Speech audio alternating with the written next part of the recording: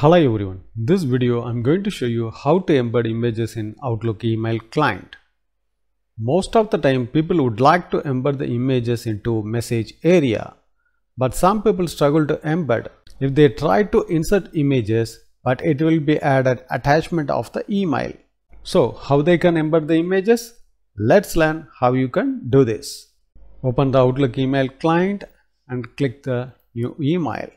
Here I would like to insert the images in the message section. So I try to insert.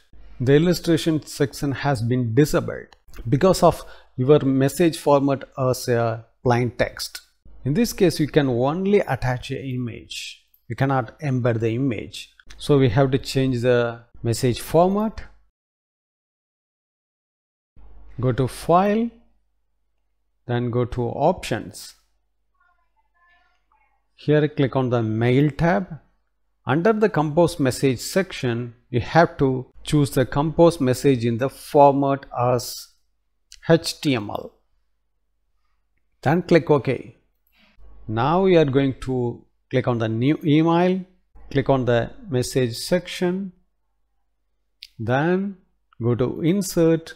Now the illustration section has been enabled. So click on the picture, then choose the image is what you would like to embed. Click to insert.